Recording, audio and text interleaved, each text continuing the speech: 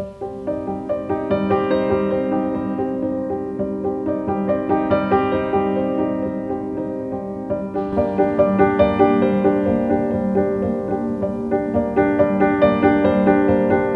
welcome back to Brambletye. Uh, sunny morning, it's lovely here. Uh, Brookes is a fantastic place. Um, January's been some of the best building months that I've had here. Um, you really do get some sunny days, not too hot. In answer to um, the, the staircase issue on the front of the house, um, brought up quite a few questions about authenticity, about why we should keep the staircase. Um, we have a couple of answers. One is we have um, the sun comes around in the summer, uh, leaving the shade on the north facing front of the house. It's a good thing because the sun is very hot in the summer. But it also, um, when it rains, that damp sits against the staircase joined to the front house the wall, and that does create a damp issue. If you look back on the first episode, you'll see the kind of damp that it did create, and obviously that's been eradicated by taking it away. But that's not the only reason. We, uh, as a small security issue, you've got access directly to the first floor from those stairs, and we'd have to block that off somehow, whether that was with iron gates. So we'd have to put something additional there uh, to prevent access. Not only prevent access to humans, but prevent access to other animals. Um, we get all sorts of animals here. We've got deer coming through, we've got wild boar coming through on a regular basis, and the idea is to put a recinto up uh, so that our, our ring fence around the whole property, uh, so that we can be secure and free from um, wandering strangers, animals, you name it. Um, uh, we pretty much get it. Um, one of the things I investigated uh, when we bought this property was how we were going to renovate it. Uh, I've been used to get, just getting on with it myself, but we do know in Italy that's just not possible for smaller renovations, for smaller jobs. Uh, yeah, there's no problem there, but with things like replacing roofs, building uh, walls back of houses, and, and, and so forth and such like, um, we need permits. So I decided to start a building company.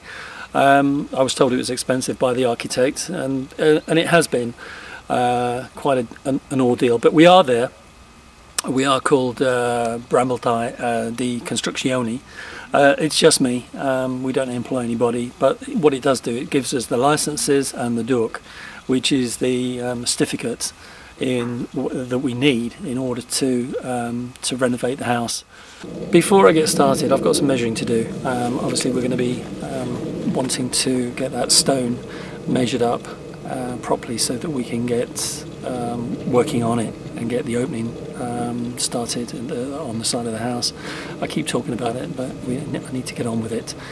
But before I do that, uh, if you could subscribe, it's um, it's obviously going to be helpful to the channel, um, bringing you future programs. It supports us completely. Uh, ding the bell, and then that means you can uh, subscribe and uh, get notifications of uh, the next episode that's going to come out. Because uh, otherwise, we'll probably chase you and make you watch it. Um, and tick the like box, please, if you like what you see we've had some great feedback. We've had some good questions, and uh, and that's been great for us. It's nice to answer. It's nice to talk about what I'm doing here. Uh, I tend to be here a lot on my own, uh, which means that um, uh, you know, my Italian isn't fluent. So if anybody comes who only speaks Italian, uh, there's a lot of umming and ahhing going on, and obviously I can talk to them in numbers ridiculously well, um, but that doesn't get a conversation going very well. A glass of wine does.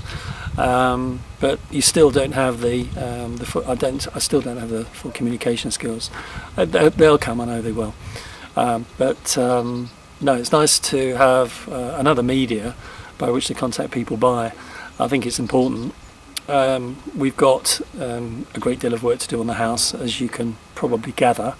Um, but with the momentum of the the series, I think it'll give me goals to work to and to finish um, as I want to, and then obviously we'll, we'll, you know we'll finally be able to move in, which is going to be fantastic. We can't wait. But anyway, before I do that, I'm going to go and do some measuring. Thank you. You up to? Hello there. Uh, steady as you go. We're on the first floor of the scaffolding. Well, I said in the last episode that we would look about uh, taking out the opening downstairs, and we've obviously got to get the, the lintel, the architrave in there. Um, but before I do that, we need some stone. We haven't got any. Um, it's a new opening. Um, all the stone we had came out of the house is basically going back in, and we just haven't got any more of this profile stone left. It's Maiella stone. Um, fortunately, a builder contacted me a couple of days ago, a good friend, and he said if you are looking for any stone by chance, um, the quarry um, may have some. He was there buying something else, and he saw some stuff. He knows I'm working on the building, um, so I think what he'll, it, it's a good idea to do is measure up and get up there as soon as we can. That, that's the local quarry that we can see from the property. Yeah, the stone is as rare as. It's very, very difficult. What I was going to do is open up downstairs, get the lintels in, the steel lintels, and then I knew over a period of time that we'd pick, pick up some stone down the road. Mhm. But if we can get the stone before, um, that just makes an ideal job. We can draw it up properly, I can get the opening done properly, and then the whole job will be finished in one go. But I I don't think it's going to be one program. It looks like it might be two Okay. or three programs now. Are we now looking for stone, basically something similar to what you've got in this doorway and all of the other openings, everything that we've done so far? Yeah, if we start from the base, this is the, uh, the footstone. Uh, this was here on the property. It's beautiful, it's stunning. It's one piece, and I found it underground um, behind the barn. Um, dragged it over, and it just happened to be this way. So, so this wasn't an existing uh, piece um, that came out of the building, or maybe from something else. No, it doesn't match anything of the building, but it just does make a great footstone. As you can see, it sits out, it's proud of the wall, and it just does the job perfectly. And what it does is it allows you to set a stone just inside it, and, be- and behind get a wooden framing all nice and equally behind that How- as well. How heavy? How heavy is that kind of stone? This one uh, weighed in at 200 kilos. I weighed this one, and we winched it up. I actually winched this up on my own, um, which was fun. Um, Yeah, I, I don't think I was here at that time. I was pleased, perhaps I wasn't Yeah. here. It went in perfectly okay with the right winch, um, good ton and a half chain winch. Uh, it just went in very peacefully. Keystoned it in, cemented in, and it stayed in the same position all the time. But if we can find something like this as well, that'll be a double bonus. Um, it's rare. I'm not looking, uh, you know, I'm not. Expe- my expectations are not going to be high. Have you got any idea, sort of the price that we might be looking at? I mean, no idea really. I've looked at some second-hand stone um, on eBay, um, on subito.com, which is an Italian used site, and everybody that's selling these things, they, they, they, they seem to see some value in them. Yeah, they would be expensive. Well, there probably is value in them. And there probably is some value in them, but not the kind of value that, you know, one of these, you're talking about 1,000 euros uh, for this stone I have found hanging around in the, in the garden. Um, when, uh, when it's, you know, when the referrals come from somebody I know who is a builder, I hope he's looking out for the same things and the same prices that I'm looking out Yeah. for, because that tends to be the way it is here. Because a lot of those the local builders are restoring properties, aren't they? Yeah, um, there's not a lot of work going on in uh, Rapino or the wider area at the moment, especially on the older places. Um, a lot of the young Italians they want new places. Um, they don't want the hassle of doing all the work on the um, the old um, Abruzzese farmhouses. It's just simply too much for them. Um, it's been a lifelong ambition for us to do what we're doing, and we're in a sense we're fulfilling a dream. Um, but we have got to get to the end of it. But you know, we we're under no uncertainty of the amount of work that we've got in front of us. It was quite funny while you were talking there, and I was listening to everything you were saying. You could hear the church bells from the village. Uh, it's quite funny because those church bells are Yeah. really quite significant. Yeah, well, it gets you up at seven o'clock in the morning. Um, Yeah. That's for sure. I, so the reason why we hear the church, you can't see it. This house sits on top of the village, looking down over the village of Rapino, and then down the valley, and then in the distance is the Adriatic. Um, when in lockdown, it was amazing. Um, I, I, I remember that I was in the UK and you were here on your own, and then you said to me, You've got to hear what I can hear. Yeah, through the whole valley, every Sunday was uh, Amazing Grace uh, being played out throughout the whole valley um, on loudspeakers. Had Ave Maria. Um, and because we're at the, well, we're not at the top of the hill, um, but we are a good way up, um, about 50 metres above the village. Of course, the sound resonates um, up here quite easily, and uh, the sound it was, it was much like being in, a, in an amphitheatre. It was sort of putting the hairs on the back of your, in, your neck on it. Every Sunday, it was quite a pleasure to sit outside with a glass of wine and uh, obviously some water as well and um, and listen to a mass. Just a glass of wine. I thought you went through. Um, was it bottles, maybe Bottles of wine? Oh, water. Sorry, sorry, Don't do water. bottles of Water. just glasses of wine. Glasses of wine. Yeah, but good quality Montepulciano. Fantastic. Yeah. Great, love it. Anyway, we really need to get on and get up to the quarry, see if it's open. Uh, we, we don't have an appointment. We're just going to turn up and see uh, see what we And see, and see who is there that we can to, perhaps. Yeah. All right. All ready right. to go. So I'll make a cup of tea before we go, should we? Great. lovely. That sounds good. We're travelling along the road now that will lead us to the quarry. This road's actually at the top of uh, the little track that leads down into the village, Rapino. And actually, last year, which was really interesting, the Giro d'Italia, the cycling race, came along this particular road. That's actually equivalent to those of you who are sort of cyclists and follow it, very similar to the Tour de France. And it travels throughout Italy. And we were so lucky that it actually travelled um, throughout our region last year. One reason for that was also that um, some of the roads actually got mended, um, and I think you know that made a big difference uh, for the area because obviously the cyclists um, crucially important for them that the road was in a good quality. Quarries are two or three miles above the village, and uh, hopefully find it. Uh, we'll find it open when we get there. But it'll be an adventure because we've not been before. And uh, excuse my Italian when we get there. I'm going to do my best. Uh, managed to learn my numbers perfectly okay. Little funny story. Um, learned them on the train going into London every day uh, with about six people um, who sat near me, who got to know me. We didn't know each other's names, um, but I just re- religiously learned out of the um, the dictionary all the Italian numbers. They they learned everything I learned. It's quite funny. They even thanked me at the end of months of travelling together. Oh gosh, we're nearly getting closer to the entrance of the quarry. And a barking interessa. Uh, for the uh, casa in Rapino, um, uh, 20 uh, centimeter, 20 centimeter, un metro. Hello. As you can imagine, our dog Button's going berserk in the back of the car because she's not joined Steve and there is a little dog now. He's funny. I like him. It's a He's her. raw. It's a think it's a her. her. It's a her. Think- It's a her. Hello. Hello. And we have a man Vieni who qui, you could see in the upper level. Ti chiami Steve? Steve. Steve. Emilio. Emilio and Lee. Uh, mi, uh, io abitazione a Rapino. sì. Uh, direction uh, Bocca de Valle. Uh, un casa, destra, uh, via Castelnuove. Sì. Ah, ok. Uh, vecchio casa. And io ho, hai um, uh, Pietra. Possiamo vedere sotto lì se c'è qualcosa. Gu- Guardare? Guardare. Ah, ok. Oh, e grazie. So, qualche lì in uh, piccolo video? Piccolo video. No, niente, no, niente problemi. Grazie. Eh, scusa, Come chiami? Macchia. Macchia? Uh, nuovo o vecchio uh, Pietro? Vecchia. Ah, buono. fantastic.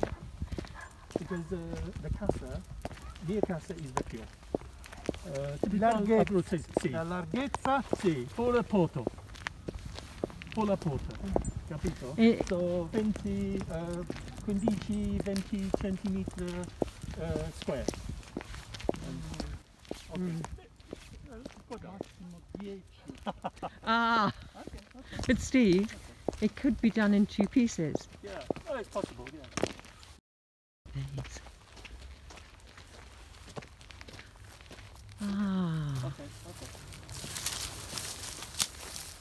the Maiella pietră, tutti.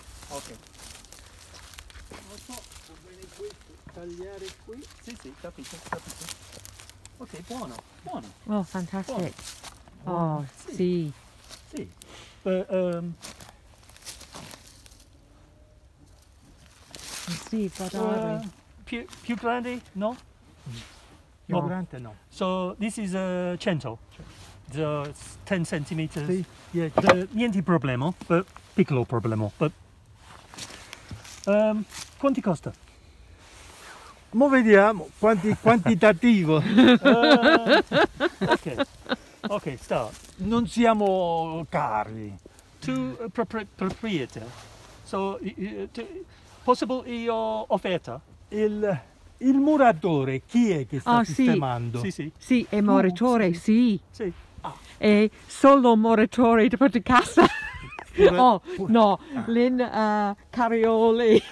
No, sì, no sì. io, io il moritore. Ah, Sì. Io, ehm, io tutti regolari eh, con uh, Chieti. Con, con la mola. Sì, sì, io. Eh, sì. Sì, io. Io machine. Yeah. Uh, Makita. Eh, Quantitativo. Ok, ok. Quanto le Uh, serve? This one. This one. This one. This one. So that would be one, two, three, four, five, six, six. Mm. Maybe six. Yeah, and top. We need top. È differente. So, possibile 10. 10. 10 piece. pezzi. We're now in the undergrowth, I Nice. think. Buono. And Steve looks like he might have found something. I think I have to get round to see if I can get filming. This is Okay, what did you find, Steve? okay. The pretzel Patufi Oh my god. is uh, 120 euro Metro quadro. per quello- metro quadro quello là o là. lì. Là. And this, Que- Di meno. okay, okay. What's the name of? Di meno.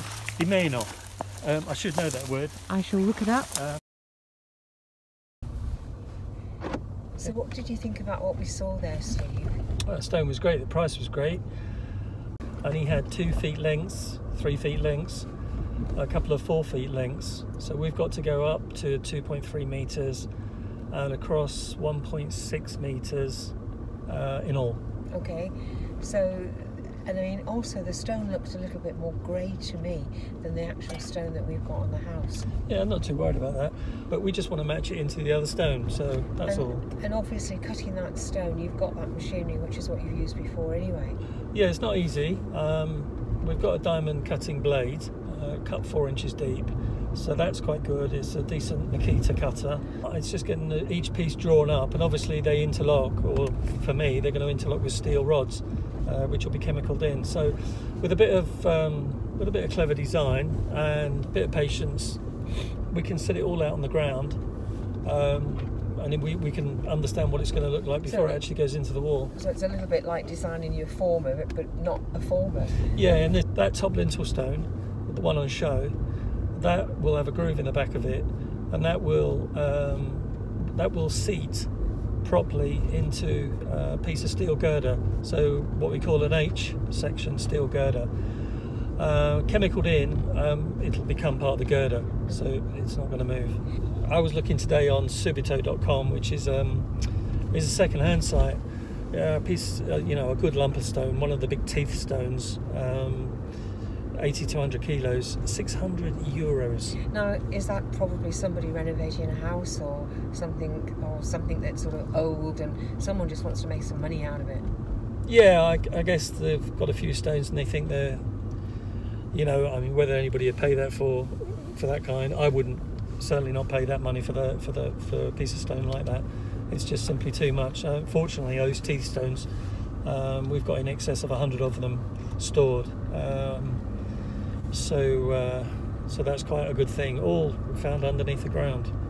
You want purpose cut stone, it's going to be expensive and it's going to be too new. So we're going to be knocking it back anyway. The the stuff we saw is very workable, but that's the downside is the sizing is is not going to be perfect for us, but we can make it perfect. I mean, if you follow me through the program, you'll see um, well how I think I'm going to do it and see if it works. Um, you know, leave your comments. And obviously, the, the first task that you're doing is get your plan organised, and then you'll be tackling the hole um, to remove the stone. Yeah. But you've also we, we've got to have a visit to another place. Yeah, I think tomorrow that'll be um, Arielli. Uh, we're going to a steel uh, steel mill. I think they call it a steel mill. And that's another place where we actually go directly to the factory. We don't actually go uh, to sort of, I don't know, a shop to buy. We're going directly to the people who produce the product. Yeah, I mean that's a good thing having quite so many contacts here now, good friends. Um, you really can just buy. Um, they're they're quite happy for me to buy direct from the main suppliers.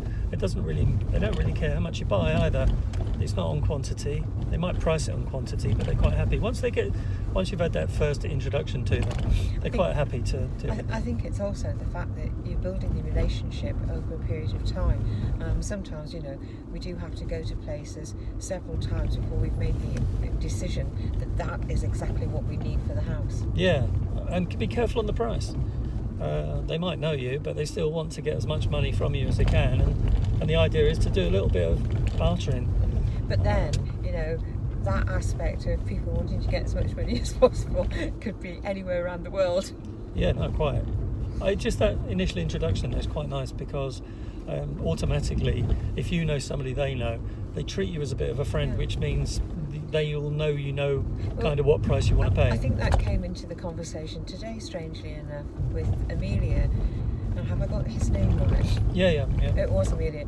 Um, when he said um, about, you know, well, it's about builders and everything, and oh, that pile of stones and things that I've got to one side is for a builder in Rapino. Now, he mentioned the man's name, which we didn't quite know, but then we mentioned um, another builder man that we know Mm. in the village, and he went, oh, yes, that's his fratello, fratello being brother. So straight away, he registered that you knew people Yeah, yeah. and people who were builders. That's a small village. I mean, everybody knows each other around here. Well, Um, 1,500 people in the village. Yeah, I mean, most of them will have gone to school with each other. There's not many people that don't know in the wider villages. Everybody in Rapino as well. It, it, it seems to be like that. And we're just known as, you know, I'm just known as Steve, the English guy. So, And, and then Um, some people don't call you Steve, they call you, what's it, Steel? oh, Steel. Steel. My nickname is Steel.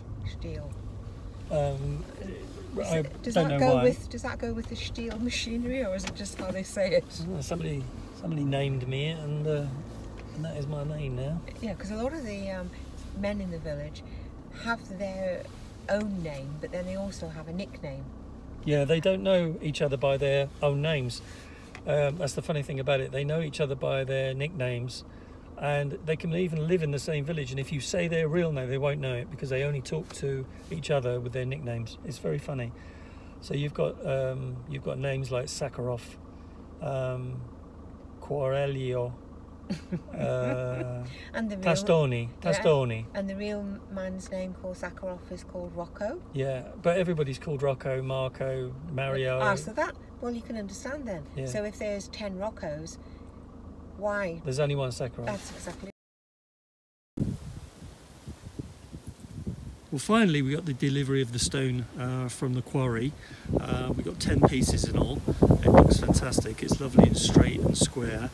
And uh, I think the concerns about the colour won't be a problem. If you look at the back of one of the stones, it's, uh, it looks like the same colour as the stone we've got on the building. I just think it all needs uh, cleaning up.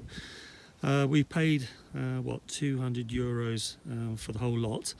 And uh, I am one pleased person that we've we've managed to find it. Anyway, that about wraps it up for this week. Um, if you like what you see, if you could subscribe and ding the bell, um, we'll see you next week.